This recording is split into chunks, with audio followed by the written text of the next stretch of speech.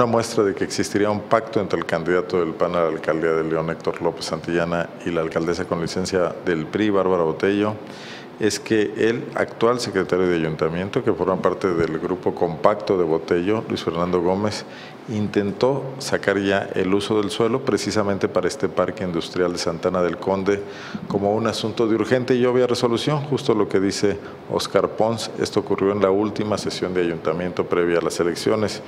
Quien asegura esto es el regidor del PRI, Alejandro Conhauser Obregón, quien dice que está convencido de que la conversación, la famosa conversación de WhatsApp entre Bárbara Botello y López Santillana es real. Dijo que las negociaciones entre el panista y la alcaldesa con licencia iniciaron al menos desde principios de abril, justo cuando arrancaron las campañas. También dijo que hay funcionarios cercanos a Bárbara Botello todavía presentes en la administración que trabajan en contra de la campaña de José Ángel Córdoba Villalobos, el abanderado de PRI Verde en Nueva Alianza.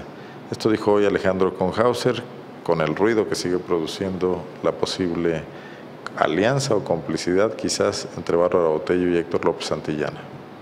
Lamentablemente se quiso hacer la semana pasada, eh, queriendo orillar al ayuntamiento a cometer una ilegalidad.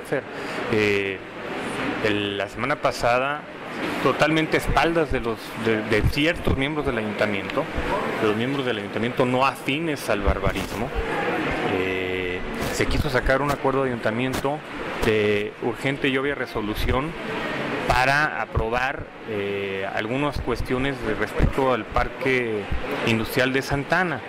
Se quería sacar con los afines al barbarismo y con los panistas, lo cual demuestra claramente el acuerdo que hay entre PAN y Bárbara, o entre Héctor López y Bárbara.